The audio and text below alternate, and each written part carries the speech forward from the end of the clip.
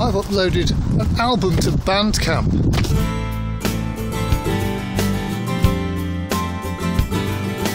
And seeing as how my record collection is full to the gizzards of best of albums, I thought it might be an idea to upload my best of 2003 to 2007. I've actually recorded about 30 albums over the last 10 years. 30 is a lot, so there must be some good ones in there.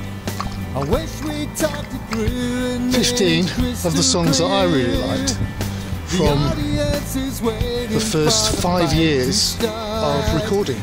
So if you'd like to check it out, uh, it's five quid, which is ridiculously cheap for five years worth of work.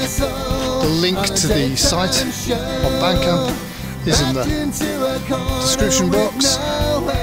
And uh, that's all I have to say. I'm not very good at selling myself, am I? Hope you enjoy. Cheers.